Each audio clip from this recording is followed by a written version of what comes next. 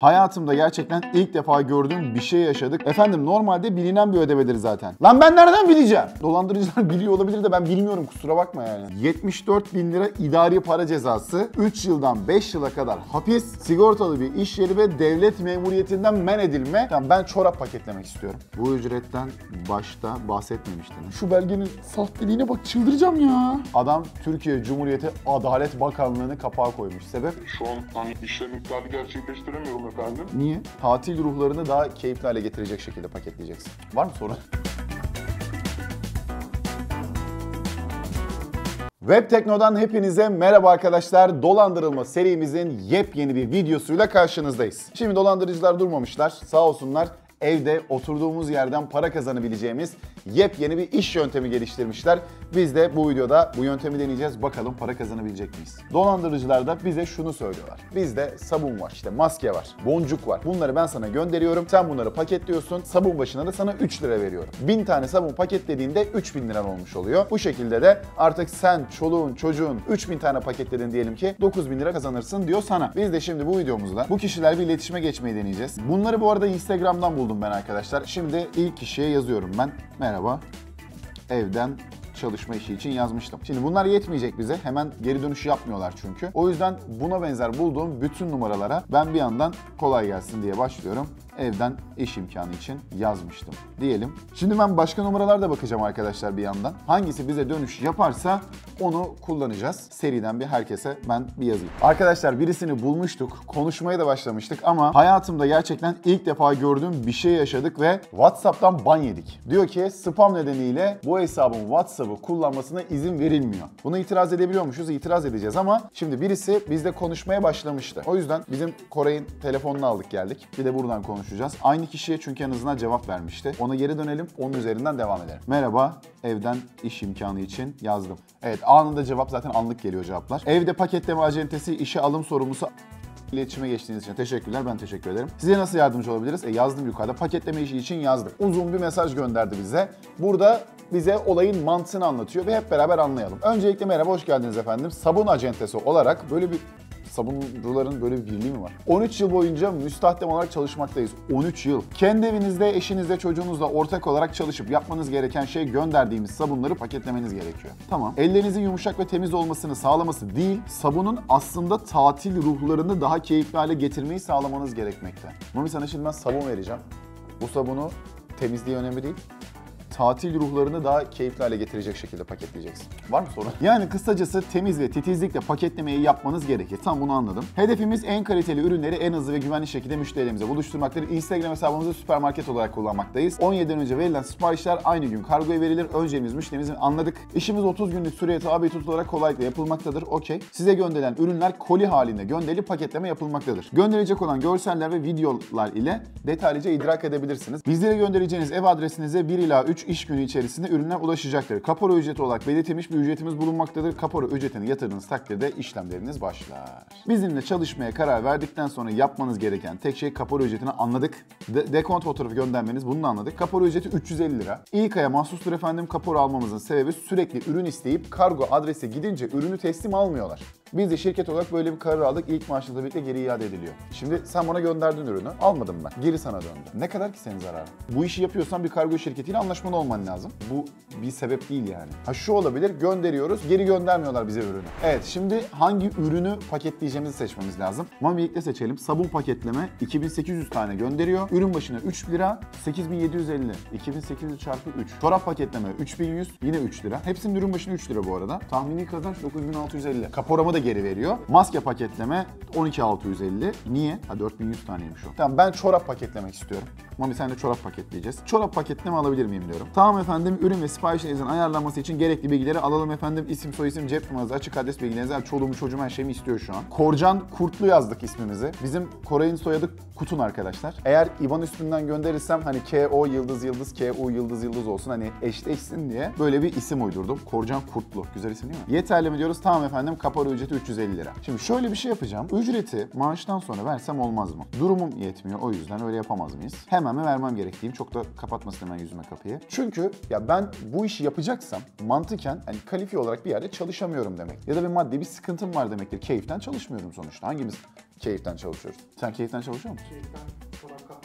Evet cevap geldi. Kusura bakmayın efendim kaporasız iş gönderimi yapamıyoruz. Yani Allah da senin tamam diyelim IBAN gönder diyelim. Kapora ücretin gönderimi sağladıktan sonra kaydınızı oluşturuyoruz. Tamam efendim güncel müsait falan filan he. Gönderdim şimdi ne yapayım diye sordum. Hemen bakıyorum bekliyorum dedim. Tamamdır kaydınızı oluşturdum. 2-3 günü içinde ulaşmış olur. Teşekkür ederiz. Şimdi ben size şu anda bunu anlatırken bana yeni bir mesaj geldi. Ödemeniz gereken kargo ücreti mevcuttur. Niye? Bu işe yeni başladığınız için ilk etapta sizlerden kargo ücreti almaktayız efendim. Kargo ücreti 1250 lira 20 kuruş. Diğer aylarda hiçbir şekilde ödemenize gerek kalmıyor. Çünkü bende işin kalmıyor. Ödemeyi sağladıktan sonra PTT Kargo tarafından sizlere 6 haneli SMS kodu yolluyoruz. Oradan ürünlerin takip numarasını sağlıyorsunuz. Aksi takdirde yaptıracağınız kargo ücreti sizlere 15 dakika içinde yeni sisteme teyit sunulduktan sonra geri iadesi sağlanacak. Gönderdiği linkte PTT'nin yurt içinden yaptığı kargo hizmetlerini anlatıyor. Devam ediyorum. Altta da bir tane şey göndermiş. Korcan Kurtlu. İş bu çalışacak olan kişi ya senin yazının ben fontuna adam yalandan almış Maliye Bakanlığı'nın logosunu çakmış. Ulan bari düzgün çak.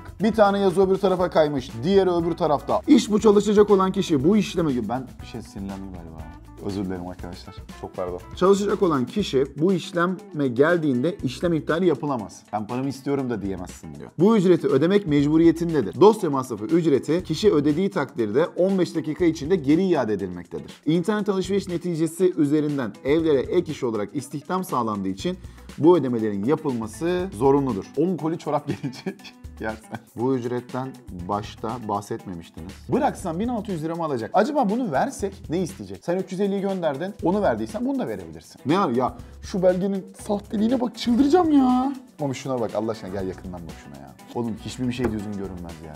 Efendim normalde bilinen bir ödemedir zaten. Lan ben nereden bileceğim? İlk kez iş aldığınız için kargo ücret ödemenizi teyit ettirmeniz gerekiyor.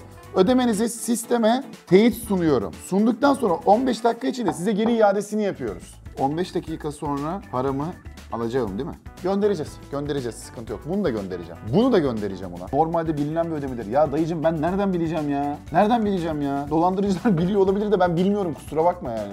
Ben bir daha dolandırma videosu çekmesem mi ya?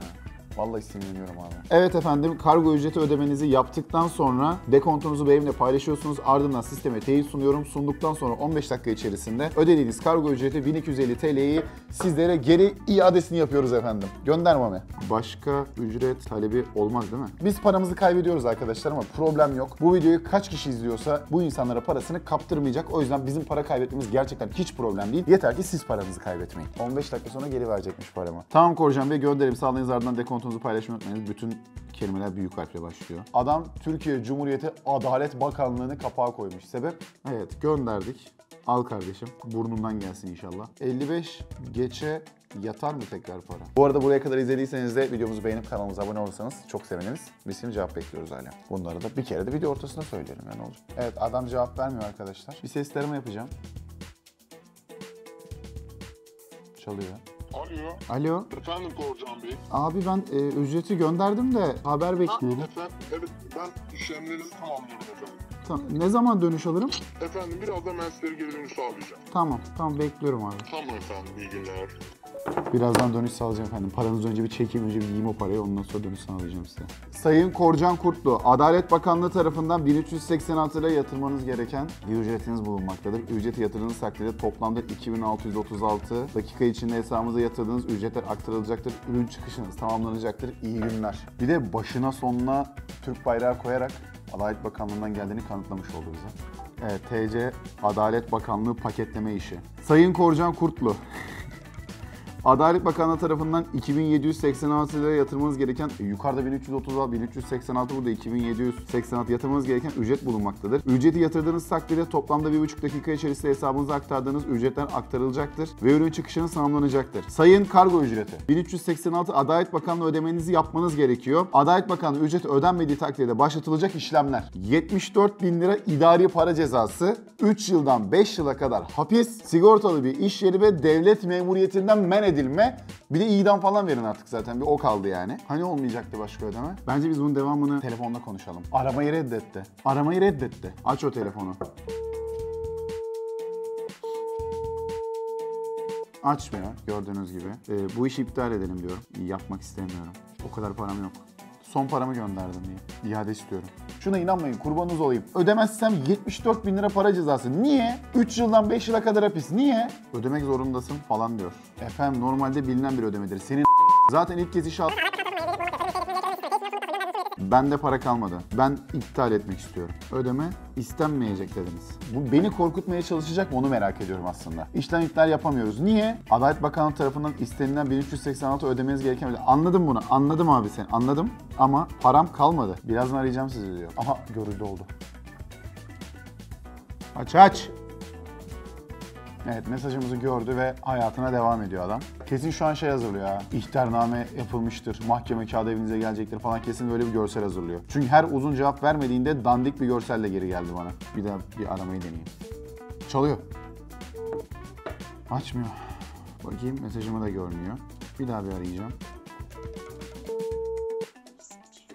Alo. Alo. Alo. Buyurun Korcan Bey. Fazladan ödeme çıkmayacak dedin. Şimdi Adalet Bakanlığı bir şey diyorsun. Bir de ödemezsen cezası var yazıyor. Ben anlamadım ki bunu. Ödemenizi gerçekleştirip dekontu attığınız takdirde toplamda 2 dakika içerisinde ödediğiniz ücretlerin iadesini anlık olarak ben sizlere geri iadesini sağlayacağım. Önceki gönderdiğimi de sen dedin ya 15 dakikaya geri gelecek diye. Şu son ödemenizi gerçekleştirip dekontunuzu attığınız takdirde zaten kargo ücreti 1250 TL ile birlikte sizlere geri iadesini anlık olarak sağlayacağım. Bir de sana gönderirken dedim ki başka bir şey istenmeyecek değil mi dedim. Sen bana istenmeyecek dedin. Hani kusura bakmayın gerçekten iş yoğunluğu o kadar yoğun ki kusura bakmayın özür diliyorum. Yok doğrudur ama şöyle bir durum var. Ben hani ek ödeme yine olur deseydin göndermezdim, iptal ederdim. Çünkü param yok benim başka şu an. Hani nasıl yapalım efendim o zaman? Yani bunu iptal edelim abi. Bunu ya bunu ben ceza meza ödemem değil mi? Bey şu an hani işlem iptali gerçekleştiremiyorum efendim. Niye? Ödemenizi gerçekleştirmeniz gerekmektedir efendim. Ödemediğiniz takdirde falan avukatlarımız devreye giriyor. Hani param yok diyorsunuz. Biz, ben sizin için finans müdürümle görüşmek zorunda kalacağım. İşte geri dönüş sağlayacağım efendim. Tamam abi sağ ol. Hepimiz biliyoruz ki arkadaşlar ortada bir finans müdürü yok. Ortada bize geri dönecek bir para da yok. Şimdi burada ücret ödenmediği takdirdeki işlemler biraz daha yutturabileceği birisine korkutmak için yapılmış ama bunun ben bir kere aslında aptala yattım ama çok şey yapmadı. Üstüme gelmedi bu konuda. Çünkü param yok deyince yani yapacak bir şey yok diye düşündü belki de ama işler yoğunmuş. Allah be ayıp ya vallahi ayıp ya. Göndermeyeceğim oğlum para mara. Yok para mara sana artık. Finans müdürünüz ne diyor? Evet cevap da vermiyor bize. Çevrim içi takılıyor. Bu evden çalışma konusunun farklı bir dolandırma yöntemi daha var arkadaşlar. Onu artık başka videomuzda deneriz eğer isterseniz. Bunun dışında yani ben bunu burada bırakacağım bu arada. Buna çünkü yapacak bir şey yok. Finans müdürüne döndüm göndermeniz gerek diyecek. Ee, ben de gönderemiyorum iade diyeceğim. İade yapmıyoruz diyecek. Bu konu burada kalacak. O yüzden şu an devam edip hiç zaman çalmanın bence alemi yok. Eğer farklı bir dönüş olursa şu an videonun devamında izliyor olursunuz zaten. Video burada bittiyse farklı bir dönüş olmamış demektir. Eğer faydalı bulduysanız videomuzu beğenip kanalımıza abone olursanız çok seviniriz. Ben de böyle durumlarda geriliyorum arkadaşlar. Çok özür dilerim. Gerçekten hani e, böyle bir parayı verecek duruma gelmiş birçok insan var eminim ki ülkemizde maalesef ki. Kendim onların yerine koyduğum için aslında çok fazla sinirleniyorum. O yüzden e, video sırasında karşılıklı e, size de gerginlik yüklediysem çok özür dilerim. Bir sonraki videoda görüşmek üzere. Kendinize iyi bakın. Hoşçakalın.